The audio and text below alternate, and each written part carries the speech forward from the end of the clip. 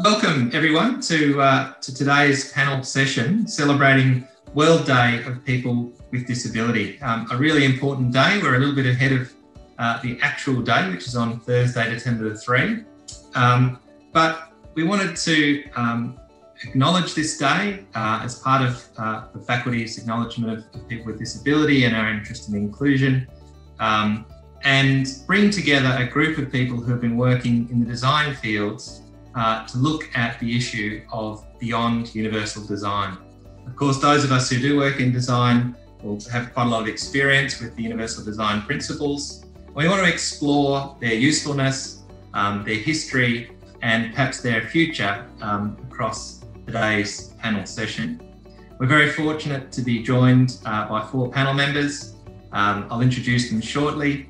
Uh, the format of the session uh, will include five minutes um, from each of our speakers, uh, followed by an open discussion and the opportunity for those who are joining us uh, to contribute uh, by asking questions through the Q&A format. I just want to pause briefly, however, um, to, to acknowledge uh, the traditional owners of our lands and acknowledge um, the land on which this event is taking place, that of the Wurundjeri and the Boon Wurrung people, and pay our respects to elders and their families.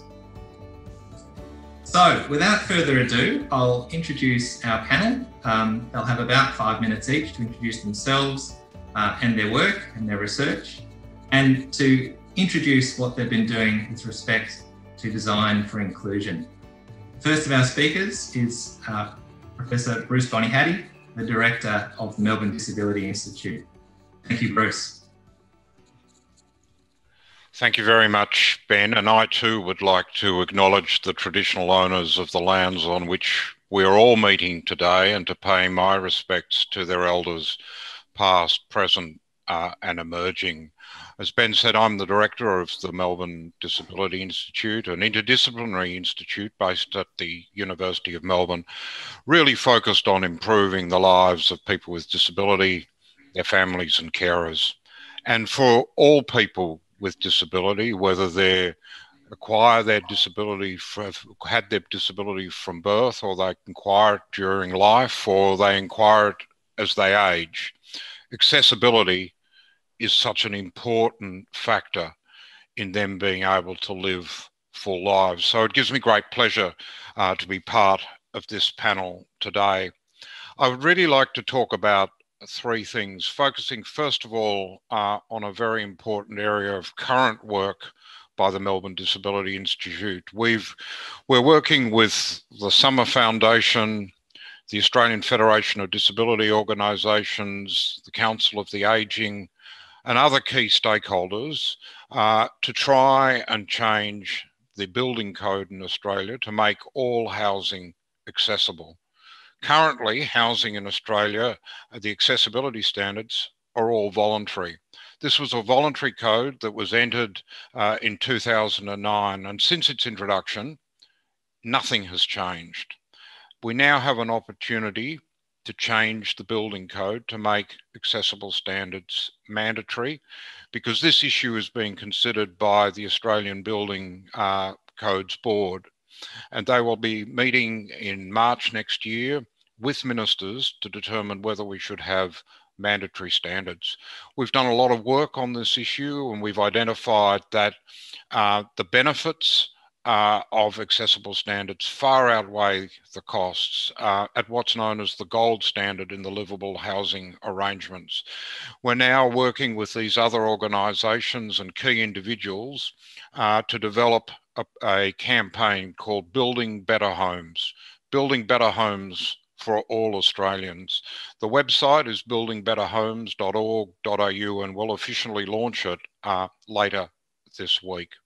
But this is a once in a generation uh, opportunity to change the building code. If we don't do it now, uh, it will be, a, we estimate, at least another decade before we get this uh, opportunity again. So please look, go search out our website, um, sign up, uh, write to your MPs, because this is our opportunity to make uh, Australian homes all accessible in the future so that we future proof uh, Australian housing. Some survey work we've done identifies that, in fact, this was the largest, we believe, the largest survey of people with disabilities that's ever been conducted in relation to accessible housing, found that for 74% of them, their current housing doesn't meet their needs. 80% of them more than 80% of them have trouble visiting friends and family, and nearly one third have found that inaccessible housing has led them to be less uh, have less opportunities to take a job or to work the hours they would like to work. The second point I just want to make is that accessible design helps everybody, not just people uh, with mobility uh, impairments. In the 1940s uh, in the US, they introduced curb cuts really to assist people with disabilities um, move from one pavement to another and across a street. But as we now know, those curb cuts benefit all, benefit all of us. They benefit um, families pushing a pram or a stroller.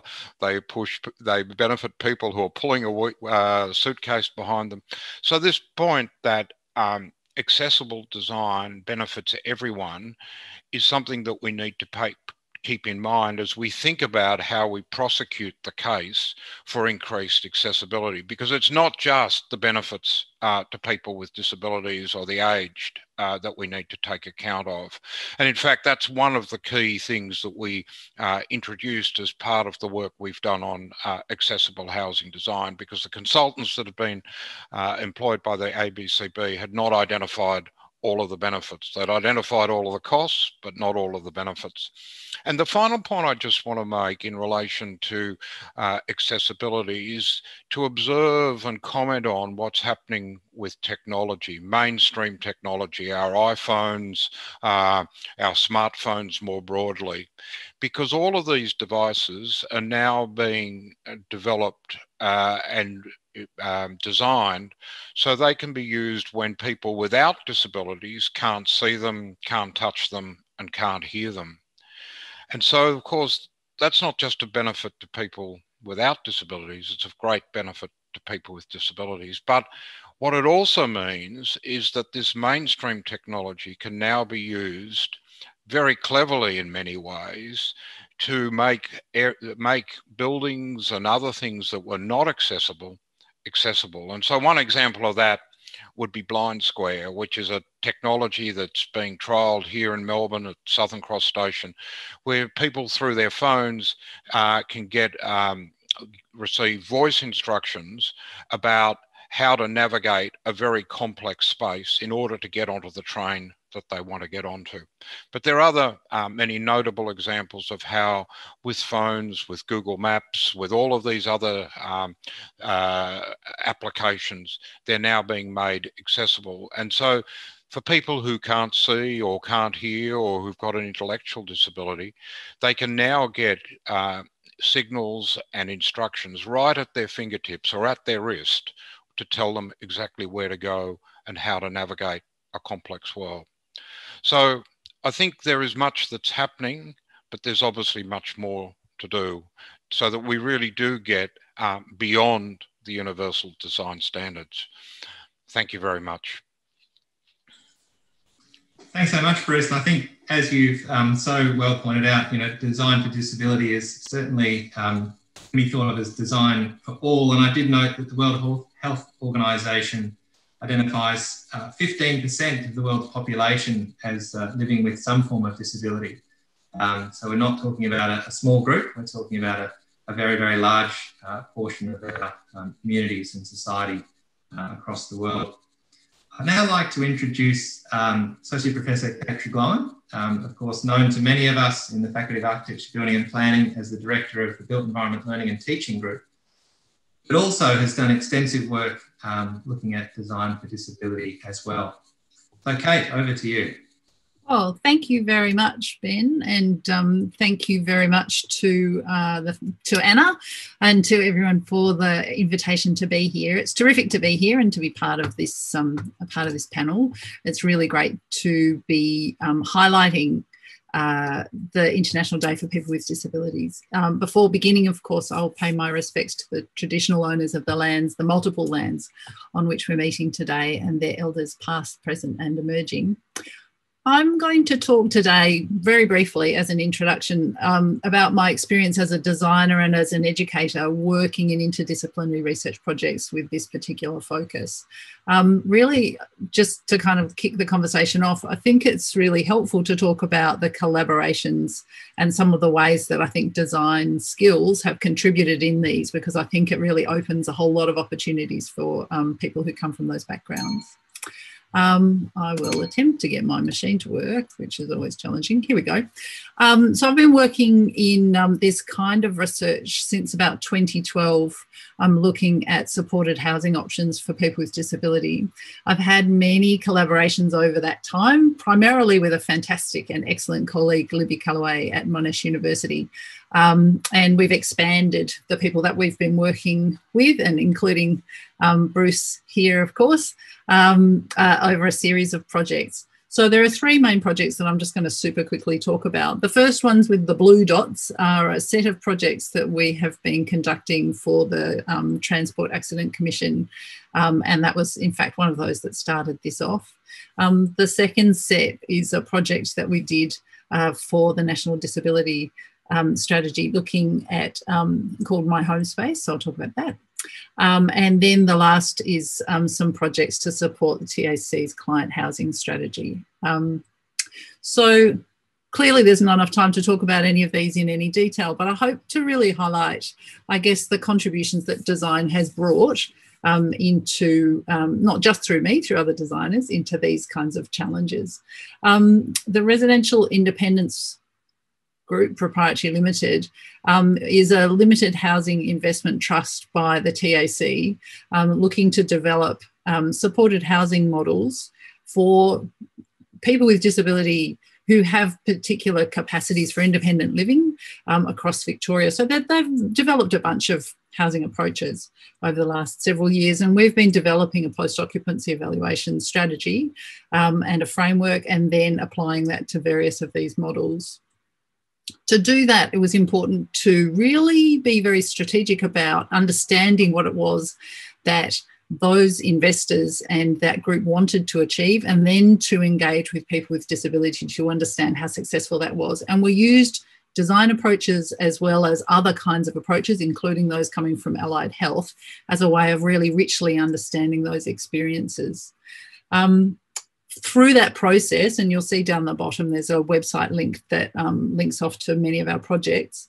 Um, through that process, we've been able to um, assess and then rate each of these projects um, according to that framework. But we've also been able to develop some really um, interesting ways of communicating that. So we started, and this is back in 2013, making um, uh, 3D panoramas of virtual spaces that not only could present the spaces that people were living in, but something of the experiences of the individuals who were living there. So this is a resident who's in a wheelchair, and so the veiled areas shows what that person can actually reach the green spaces are people who are in that space so support workers that for that person there is always someone in their laundry and as a way of understanding what privacy looks like in this space it's really important to engage with that i think not just on a physical level but on an emotional and a social level as well um, the other project that I just wanted to quickly talk about is uh, this project called My Home Space. Um, this was a way of unpacking uh, the um, SDA requirements um, for designers. And so we did that by looking at the way that um, these uh, new uh, strategies were being applied, um, in the way that um, housing could be designed for investors, and then developing a virtual game space. So, this game space is a way to present virtual spaces and also the limitations for designers. Um, so it's this particular version of it is showing how um, uh, um, technologies can be impl- uh, can be controlled and also included, um, and then a range of ways of assistive technology to, um, being being used in this space to support people living.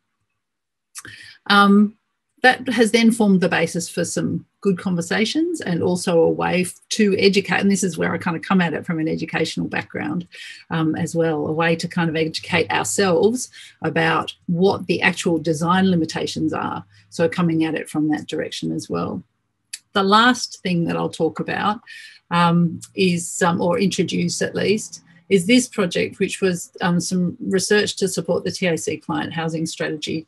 This was quite a large and complex um, project um, in that it involved a whole range of different people. Um, you'll see um, myself and Libby Callaway, who led this project. Um, uh, people from Monash University, people from the University of Melbourne, including the Melbourne Disability Institute and others. Um, it, it essentially produced all of those different reports, but it did that by looking across um, international literature and grey literature, particularly looking at um, supported housing models over the last several years, and then um, bringing together people to discuss implications um, for motor accident insurers, housing and support, um, and then developing a design approach. So, um, through doing all that scanning, we were able to get a good understanding of what housing options looked like, and then to develop a really clear um, set of descriptors in the form of personas, linking in with our work from the post occupancy evaluation work and a set of precedent models. So, by doing that, we could kind of cross reference them and start to provide some guidance about the kinds of housing models and the implications they have for various parts of the TAC cohort. I'm going to leave it there.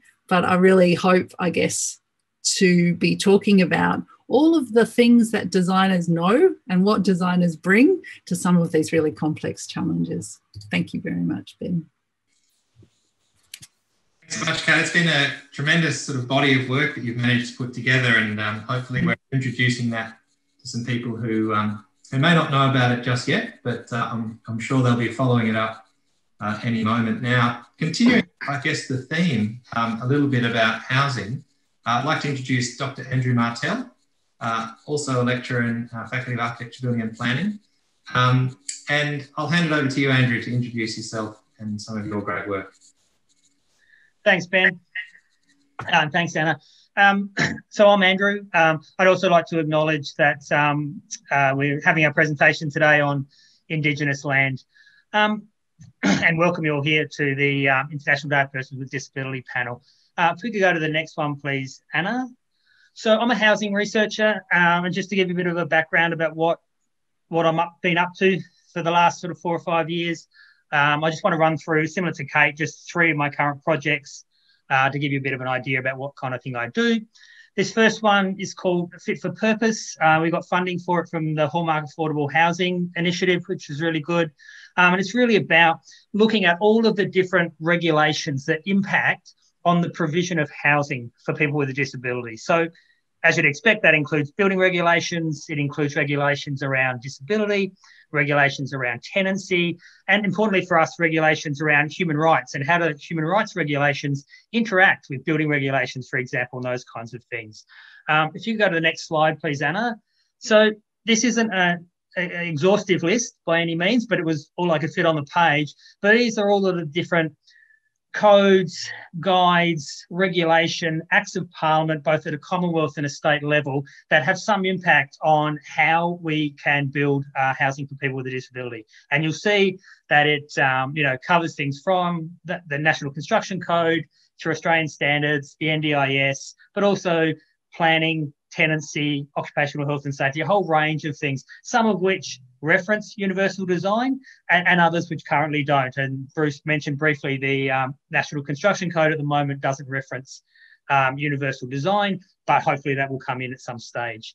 Um, if we go to the next one, please, Anna. So, what are we hoping to get out of this? Well, we're hoping to shed some light on the really complex interaction between rights based and performance based policy provisions, particularly ones that influence the quality and the cost of new housing for people with disabilities. That's, that's really what we're interested in. How do we maintain quality and keep costs down? Um, we're also, you'll all be aware that the Commonwealth Government's position um, is that the private sector should be providing most of the new housing for people with a disability and people who are ageing. Um, and so we want to provide a sort of practical point of reference for prospective market entrants and also influence sort of future government opportunities. Um, and with projects like this, we have a, a, whole bunch of industry partners working with us. There's a really opportunity for peer-to-peer engagement from stakeholders from a wide range of sectors. So that includes government, development, finance, law, etc., not-for-profit. Um, in this, what is a really still an emerging market uh, in, in Australia, and, and if you want my personal opinion, I think we need to be able to build coalitions across these different sectors in order to get this kind of housing actually built. Uh, thanks, Anna. The next project Oh, thank you. The next project um, we've done in conjunction with uh, the Summer Foundation, who do extraordinarily good work. Um, and what we did was an audit of accessible features for new built house plans here. So the previous project is all about regulation and the kind of framework around building housing for people with disability.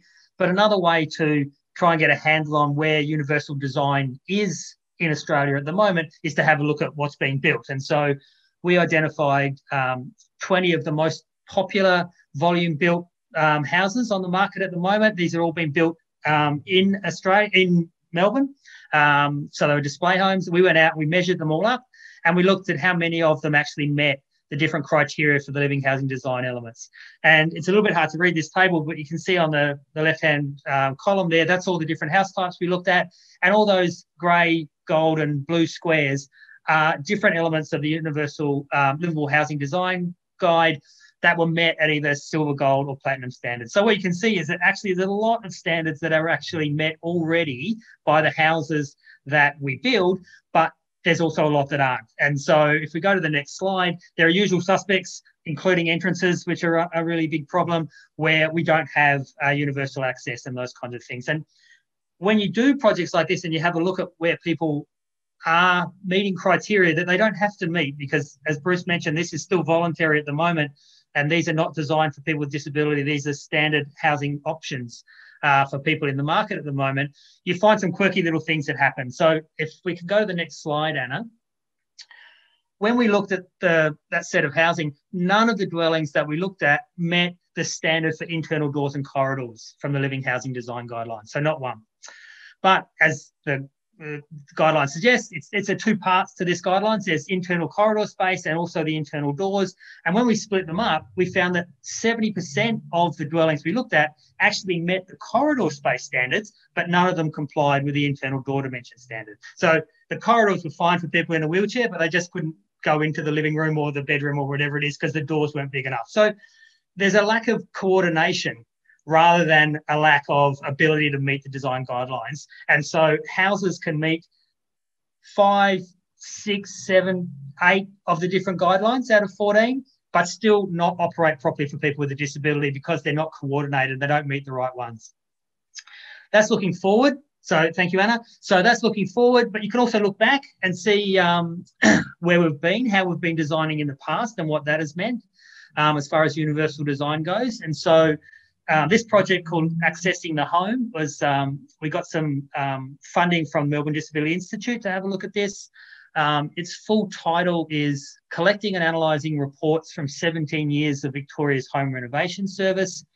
If you don't know what the Home Renovation Service was, um, it was um, a program run by the Victorian Government whereby if through disability or age related issues you needed to have your house modified, your existing home, then the um, Centre, uh, funded by the government, would send an architect and an occupational therapist out to your home to look at your home, interview you, and then put together a report um, uh, recommending the kind of modifications uh, that the house needed.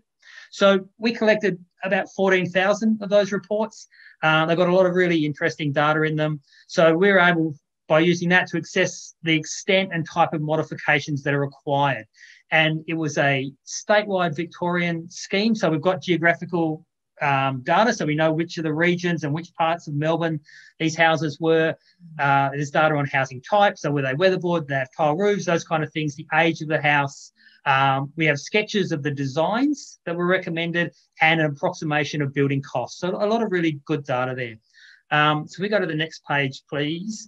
So when we start to analyze these things and we start to look at, well, what needs to be done in these houses and how often do the same things need to be done. And for me, this slide is um, an initial uh, look at 200 of those reports. And if you look at the bathroom in the centre column there, you can see the total of 79 of the 200 houses um, required modification of the bathroom. The column next to that is called combined. That's where there were more than one modification. There were 29 of those in this data set. My guess is most of those included the bathroom. So we think that 100 at least of the 200 houses in this particular survey required their bathroom to be changed. Yep. So that allows us to, to um, you know, have empirical data around, well, which parts of houses are most critical. Yeah, and you can see their ramps, getting through the front door, bathrooms, other ones. And then we can go back, use that data to look at what we're building now and actually assess whether um, things are moving forward or, or they're not. So I think I might leave it there. I think that's the last slide. Um, and I look forward to the discussion uh, that's upcoming. Thank you. Thanks very much, Andrew. Um, great to, to, to, bring some of these issues uh, into the pragmatic and to, to, demonstrate some of the, the um, really interesting evaluative work that you've done. So thanks very much for that. Uh, finally, uh, our last panelist is um, uh, Puneeta Thakur, who's doing her PhD currently in our faculty. And of course, uh, design for disability goes well beyond um, facilities themselves and into the urban realm. And with that, I'll hand over to you, Puneeta, to explain yourself and a little bit of what you've been doing um, around urban design and planning. Uh, all right, as Ben said, my name is Puneeta Thakur, and I'm a PhD student in the Faculty of Architecture, Building and Planning. And I'm really excited to be part of this special day, which celebrates the achievements and uh, contributions of persons with disabilities. I will talk to you about on a topic that interests me both as an urban designer and as a mother of a son who was in a wheelchair. I would often accompany my son walking through the streets of Melbourne CBD sometimes commuting to Melbourne Uni, where he was also pursuing his PhD, and at other times just wandering on the streets and watching what we used to call a street ballet. So it is not surprising that my research topic is on wheelchair accessibility to public spaces. Currently, in the production of spaces that are inclusive of wheelchair users, barrier-free design and universal design are the main policies. Barrier-free, as we all know, is to remove the physical barriers in accordance with the legal codes and standards and focused only on disabled user. Whereas universal design is seen as a good approach that benefits everyone. However, it is not without criticism, and I tend to side with researchers who think Universal design is partial in understanding the interrelationships between dis disability and design, and that there's a gap in translating the theoretical studies of universal design to architectural practice. And this focuses primarily on physical accessibility and usability, and I will call it mobility reductionism. Today, we all aspire for happier and healthier societies unless we look at the social, psychological, and emotional needs, this cannot be realized. What I think is that for built environments to be truly inclusive to persons with disabilities, so that persons of disabilities can achieve their full potentials and capabilities, we need to bring discourses of happiness and joy into our urban studies. And this is precisely what my current PhD research hopes to do it is titled Pursuit of Happiness for Wheelchair Users and the Case Studies of Melbourne CBD. Happiness, I know, is a very tricky word. And in literature, there's no consensus on it. So you might wonder what happiness means for my research. For this research, happiness is not extreme peace with oneself, not high attainment, or a mystic or sensual experience, for my research, it is just a state of mind when one feels well most of the time and is having a enjoyable and satisfying experience when positive emotions exceed the negative. My current PhD research is in very, very early stages. In fact, my pre-confirmation meeting is a fortnight away. And unfortunately, I don't have any results to show you. But what my current research proposes to do is it has two distinct parts. The first one is wheelchair users and their consumption of public spaces. And the second one is co-production of public spaces, which can promote wheelchair users' happiness. And the objective of the first part is to map history of wheelchair accessibility in Melbourne streets. The current history maps it through the chronological orders of legislation, acts, policies, with few exceptions. This is important, but I feel it is incomplete, and we need to see this history through the spatial subjectivities and perceptions of wheelchair users. Uh, people with all disabilities are important, but my focus is on this PhD research is just on wheelchair users. And the understanding that we will get from this uh, will help us to identify the indicators to happiness for wheelchair users in their use of streets, and which forms the base of my second part, which is co-producing an evidence-based evaluation model to measure the happiness index of wheelchair users as they negotiate the streets. And in this pursuit, wheelchair users and urban designers will be equal co-producers, the equal stakeholders. Currently, the accessibility outcomes are measured and through access auditing and how much minimum standards have been achieved. But what I feel is that, uh, I mean, I will find this quote by Nobel laureate Stiglitz very relevant. What you measure affects what you do.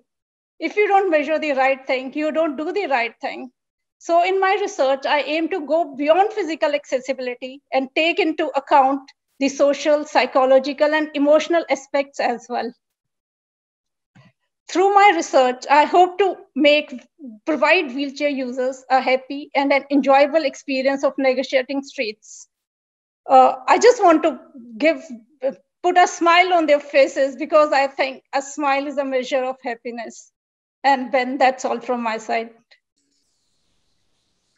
Thanks very much, Puneeta. It, it seems like you're very heavily invested uh, in, in the wonderful research that you're doing. We'll come back to talk about that more shortly, no doubt. What we're going to do now is we'll, we'll open um, the Q&A to questions and we'll try to pick up some of those questions that people watching uh, may like to ask our panellists. But we also have um, some other questions we're going to discuss of a more general nature and um, we'll try and intersperse any of the questions which are posted in the Q&A um, amongst uh, the broader discussion.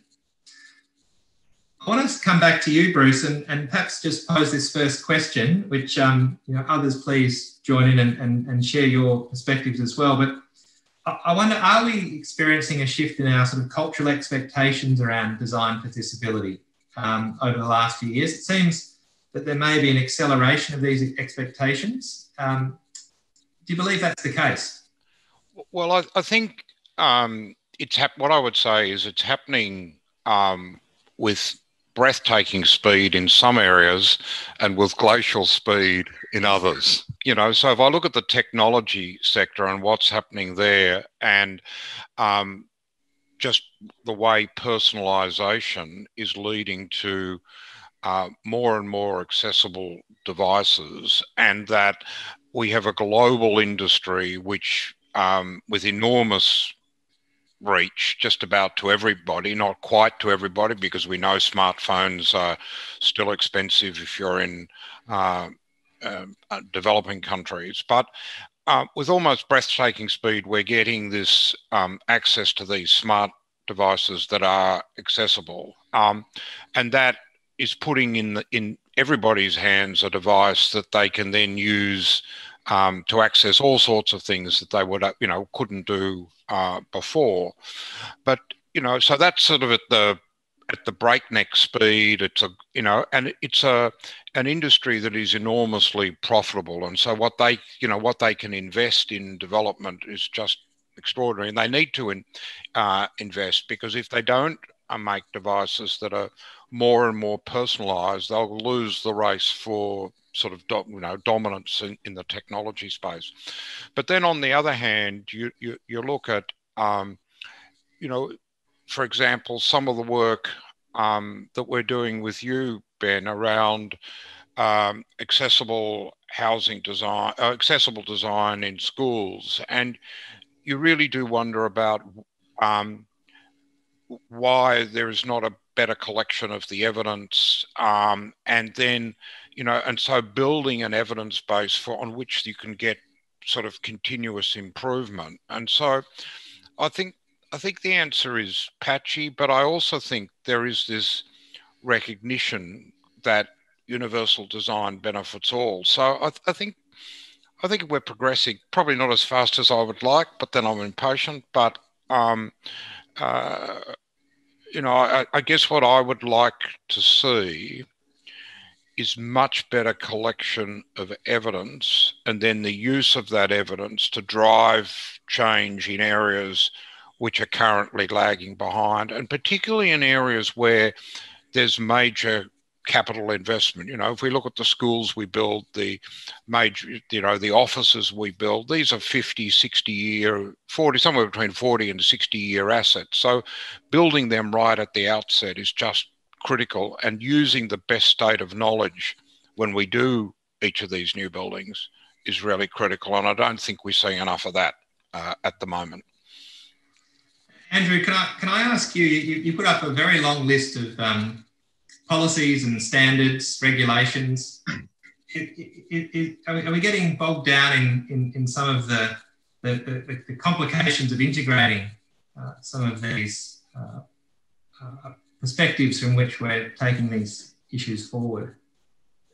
They um, they don't speak to them to each other very well, is what I would say. The um, partly that's a it's, it's a legacy in a way of how we've dealt um, with looking after people with a disability in the past. It's always been uh, a government responsibility and it's been a sort of all encompassing one and it's including housing, usually group homes and institutions, service provision, all those kinds of things. And what the NDIS and what the UN uh, Charter for the Rights of People with Disability has done is has attempted to bring people with disability into the community and to say you live where you want to live and you can do what you want. You know, we'll bring the service to you. You live where you want to do, where, where your friends are, where your family is, that kind of stuff.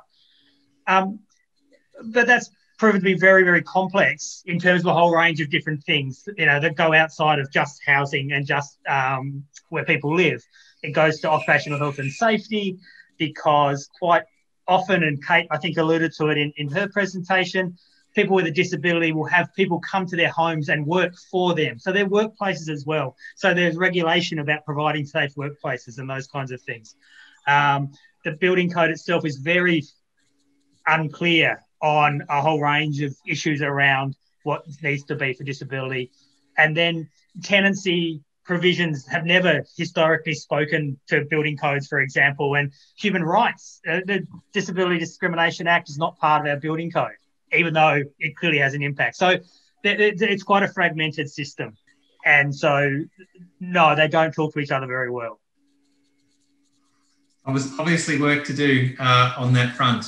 Uh, complicated work, uh, of course. Um, look, let's let's go back a little bit. Maybe um, if I could direct this question at you, Kate.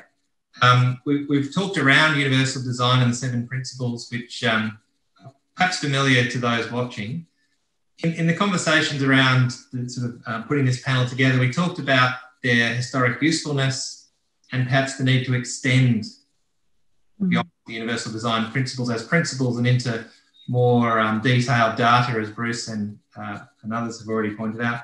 Where, where, what's your position on, mm. first of all, their usefulness over the last couple of decades since the 1990s um, yeah. and where we need to take them into the future? Yeah, I mean, I think I think broadly and culturally, and in a way, I guess this goes back to the first question um, the idea that um, uh, environments and other um, other ways in which we engage with our world, because you know universal design principles apply to other means of uh, um, communication and and other tools. I think the the kind of broad idea that the world should be inclusive um, of all of us um, is, of course, a really important one. And I would also suggest that um, over that recently there is more alongside that discussion that Bruce has raised around um, responding to personal needs and individual needs. There is a, a, a widening acceptance of um, different people's different needs in many areas of the world. Clearly, it's not true everywhere. Um, I think that's a really difficult thing to apply in real terms in design. And um, so I tend to come around, not surprisingly, to this through education. And when I look at the kinds of design studios that are offered, uh, I know that we have a good history of um, design studios that are offered to students in um, the Melbourne School of Design uh, that address different kinds of perspectives. So, and I think I think that's a real challenge for learning designers, uh, particularly in the undergrad. How do I start to think about the needs of people that are very different to my own? And I really think that we need to start there. So, universal design principles can be a great way to open that conversation.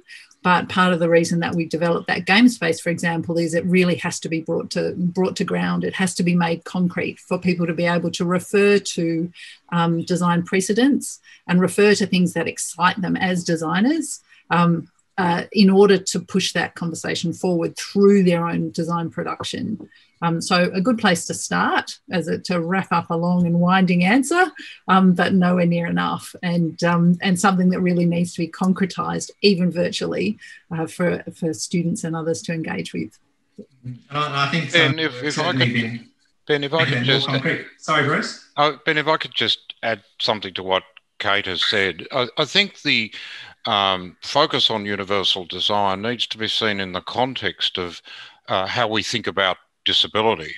Mm. And, you know, there's been a major change in the way we think about disability from what was essentially a medical model of disability, which said that a person's, um, which sort of focused on a person's um, impairments and uh, functional um, gaps, to to a social model of disability, which says that it's society that disables us. You know, that it doesn't matter how much attitude I've got or how much will I've got. If I'm in a wheelchair, I can't get up that flight of stairs, you know. And so um, it, in, there are many aspects of our society and the way we uh, and our cities and other places are designed that uh, limit people's ability to be included. And so I think we need to think about this approach to universal design as being part of that social model, um, which says that all um, all people have rights as citizens, and that they and, and those rights extend to access uh, and inclusion. And the way to deliver that is through universal design. And so um, I think um, you know as we talk more and more about citizens and their rights and uh, seek inclusion, we, we need to keep pushing this agenda of universal design as a means to an end, which is that everyone's got uh, full access. Ben, if I could just add onto that, um, one of the things I, th- I, think we have learned um, is that the built environment has agency. And so what we what we know is that the built environment can discriminate against people, and so we that's what Kate was talking about and what um, Bruce was talking about, keeping that in the front of our mind that we can design spaces that discriminate, and so we need to be very careful not to do that. Yeah, I think the other point to make here is that um, if you build it right, it costs a lot less than if you um, failed to build it right and then have to come along afterwards uh, and modify. And so I think, particularly when it comes to new construction, you know, we need to take every opportunity to get those design principles embedded, uh, uh, not just theoretically, but in practice. And I think this is where some of the aspects of the building code become, you know, and, you know, the long list that that Andrew referred to um, becomes so important because there would be very few people uh, who would actually be on top of all of those codes for all of those situations. And so I guess this is another point, you know, to the extent that we can simplify the regulations around this, uh, it then becomes much it, it, becomes just the way of doing business. It just becomes the way you build, uh, as opposed to I've got to look up this book or this regulation and look at subclause 26x or whatever it might be. Uh, and so we that that that's also an important element in making sure that practice um, sort of matches the ambition. Puneeta, you um, provide a little bit of a a critique of universal design and, and talking about, um, I guess, the wide interpretation that all principles tend to lend themselves to. Um, can you expand a little bit on, on where you see opportunity for further data collection as you'll be doing um, in the urban in the urban realm, and, and how more specific evaluation and assessment of uh, of the urban environment may help uh, drive these issues forward? The present uh, universal design in compared to the urban realm is just based on either the ramps or building up the ramps or having just the equal access but that is just at the ground level. If we really get into the environments and some of the urban policies are really looking after this stress reduction and the other aspects but all urban designers are taking a shield under the universal design principles. They just have one line to put up, adopt urban design principles, and it ends there. But I think we need to move much, much, much beyond all this stuff. And I have started to make a model which has uh, different aspects. Physical mobility, as Bruce said, they are really important. But it is also to include the confidence of the people, their contentment, and if the the environments are congenial to them. So i think it's still a long way to go. Unfortunately in the urban realm universal design has been more related to design journalism or theoretical but it has not really come down to practical means.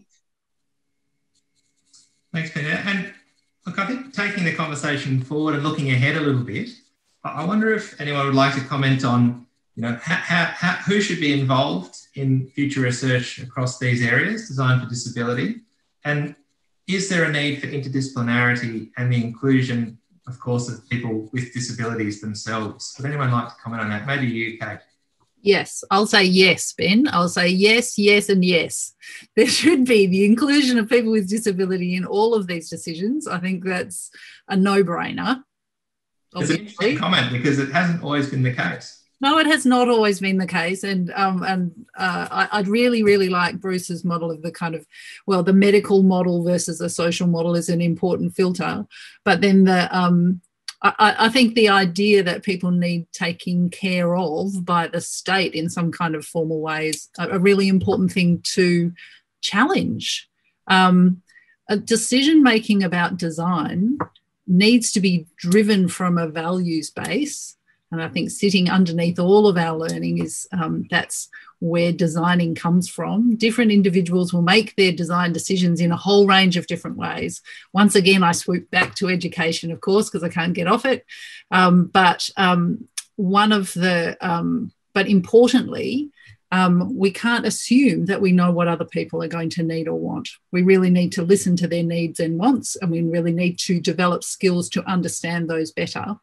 I would to think about interdisciplinarity, though, I would say that, you know, I've, I've been very lucky to have a fantastic and long running collaboration uh, with people in other very different um, parts of the academic landscape, and um, and that's taught me an enormous amount. So, of my particular collaboration I was talking about before, when I first started, I think we spent about a year trying to understand each other's language, and we had kind of no go areas. My colleague wasn't allowed to say design for a long time because really we came at it very differently, and I wasn't allowed to say occupation. That was a rule that we had, but now we've kind of developed enough of an understanding to be able to have some very different conversations, and I think not only that collabor- collaboration, but a whole range of others have allowed me as a designer to contribute in ways that I wouldn't have been able to otherwise, and us as a kind of an expanding group to make things that we would never have been able to make from a single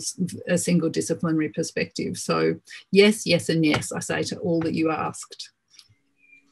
And Bruce, I want to. So yeah, just just to quickly, there's there's a bit of irony here in that speaking about interdisciplinarity, that building regulations are, are, are, a thing because they came out of the health realm. Yeah, it was it was about fire protection, healthy living, because houses a couple hundred years ago were pretty terrible for people to live in, and yet that connection between health and housing has been completely disconnected mostly now the way we build houses and so i think that the reintroduction of of different disciplines around what is healthy what does it mean? What's happiness?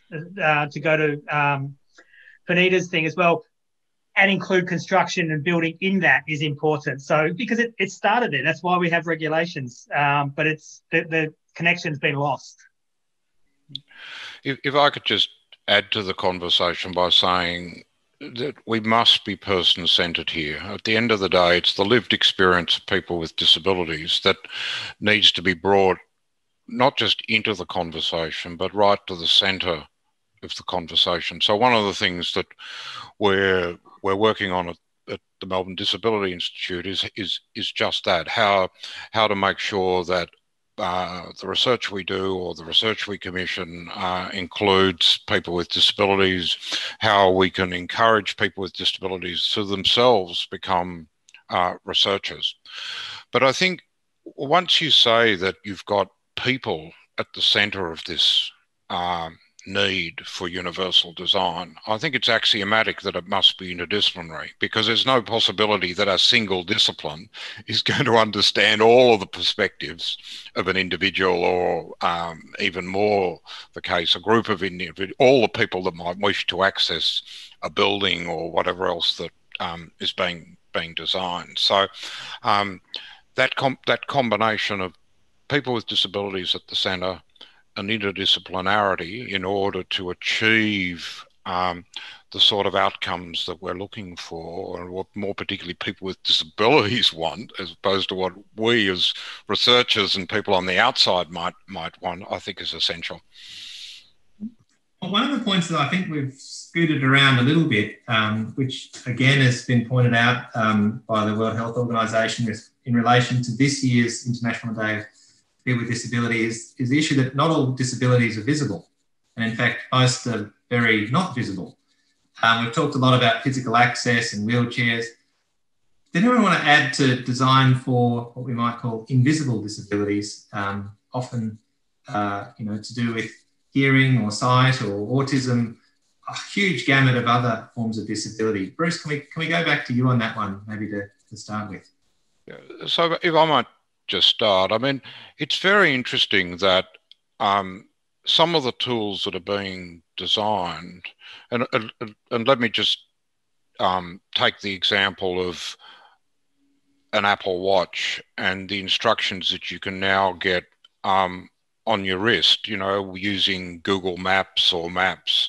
You know, they were originally designed for people with vision impairment, but they're also um, terrific if you're a person, say, with an intellectual disability and you come to an intersection, you don't know whether to go right or go left. And there's a voice, well, either a voice in your ear saying go right or go left, or you get a certain number of buzzes on your wrist to tell you to go right or, or go left. So a, a number of these um, features that are being built for a particular disability type, if you like, are much more applicable. Uh, you know, a, a, apply to people with different types of disabilities. And certainly your point about um, invisible disabilities is right. It's not just about people in wheelchairs and um, you know people who've got a physical uh, disability. It's all you've got to design for all disability types.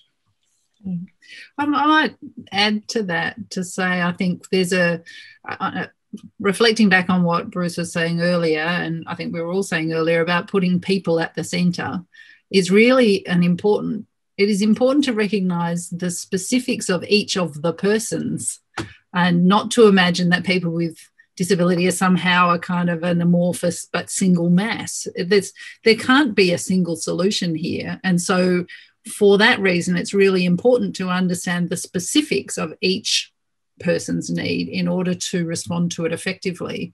And I think this is where I come to challenge a little bit. The um, the broad idea of the universal design principles is fantastic, but in application, I think it's really important that we don't imagine a single solution is going to suit everybody because it just can't. Um, it can only be a poor solution for everybody. I've in, certainly in my own work, I think it's really important that we see what can be shared, but also what can be flexible and applied for the specific needs of, of each particular person and their disability, visible, invisible, emerging, changing over time. Um, ben, I, following up with that, I, I, agree with Kate, and that's one of the, the challenges that there are so many types of disability, and each individual person will have a specific combination of one or more, and to a certain extent. And so, in one way, it's impossible to sort of get your head around designing for, for that amount of sort of uh, difference.